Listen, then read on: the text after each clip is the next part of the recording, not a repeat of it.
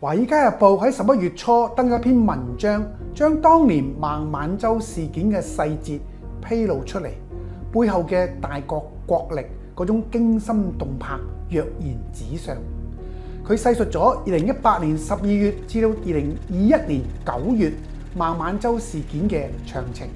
美國特工喺香港非法跟蹤同埋偷拍，美國政府嘅無恥，美國政客嘅膽大妄為，大白於天下。先講美國特工喺香港嘅非法行動。根據篇文章講，二零一八年八月，檢控方即係話美國嘅司法部，針對華為同埋孟晚舟嘅檢控行動準備就緒。檢控方一直保密，直到孟晚舟喺一個佢哋有能力採取行動嘅國家落地。所謂有能力採取行動嘅國家，其實就係配合美方長臂管轄嘅國家。為咗確保萬無一失，美國 FBI 特工喺香港跟蹤同埋拍攝咗孟女士。根據《華爾街日報》嘅披露，喺孟晚舟走進香港國際機場嘅時候，有關佢行程嘅消息通過一條安全嘅線路傳到去當時二十國集團即係 G 二十峰會舉辦嘅地方阿根廷嘅布宜諾斯艾利斯嘅一間酒店。一位白宮律師喺一間套房裏邊嘅隔音帳篷接聽咗電話之後，呢位律師叫醒咗當時美國國家安全顧問博爾頓 John Bolton，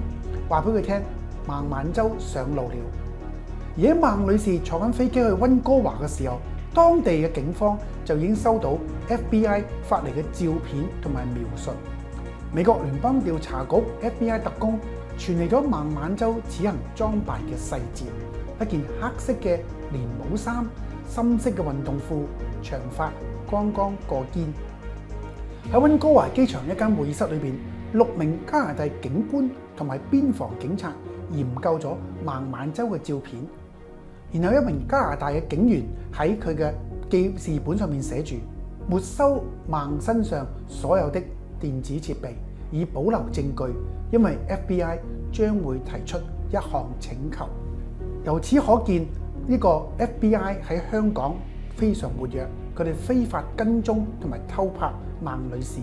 香港嘅國安警察應該睇得佢哋緊啲，以便有需要嘅時候予以制止同埋拘捕。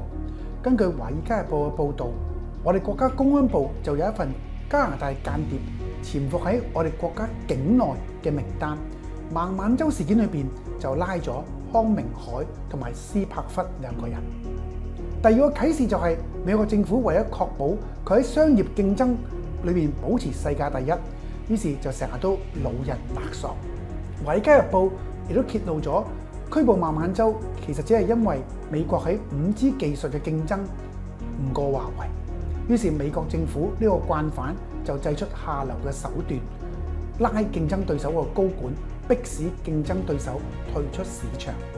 《華爾街日報》咁樣寫嘅。對白宮來說，呢件案即係孟晚舟嘅引渡案，關係重大。華為係爭奪五 G 控制權嘅對手，五 G 無線網絡預計將為全球數以十億計嘅設備傳輸數據。呢個係一場美國唔想輸掉嘅較量。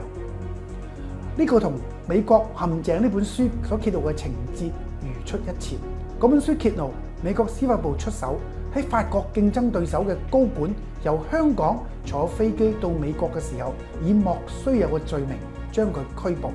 重判五年。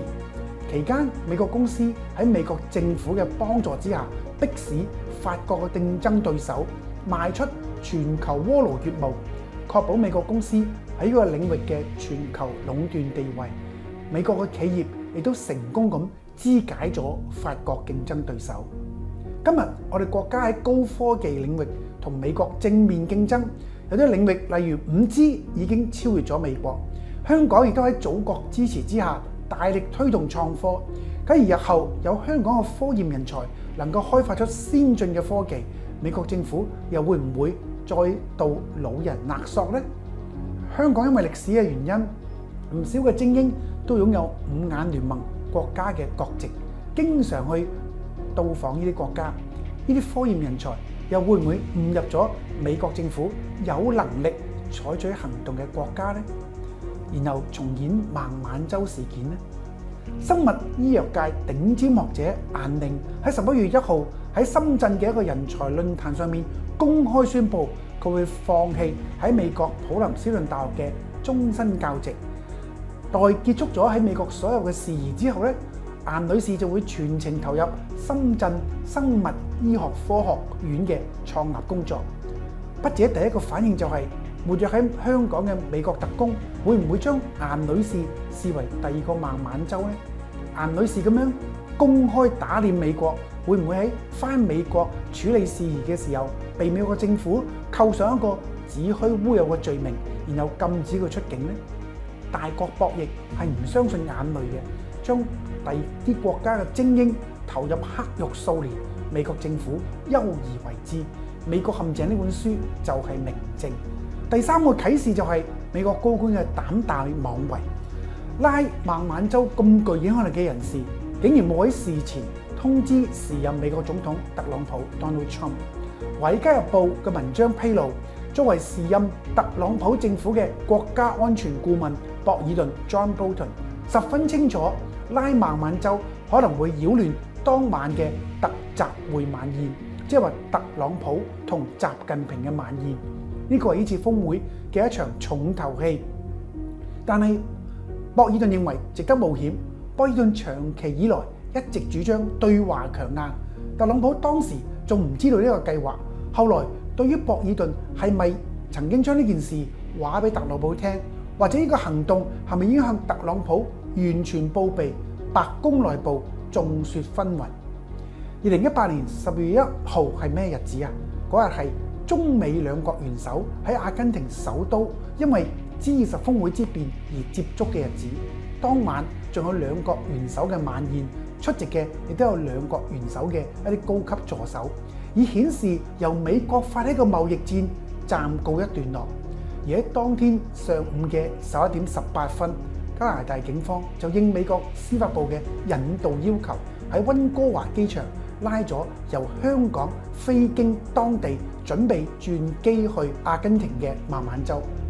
兩國元首晚宴嘅時候，坐喺特朗普右手邊嘅斜對住我哋國家主席習近平嘅，就係下令拉孟晚舟嘅博爾頓。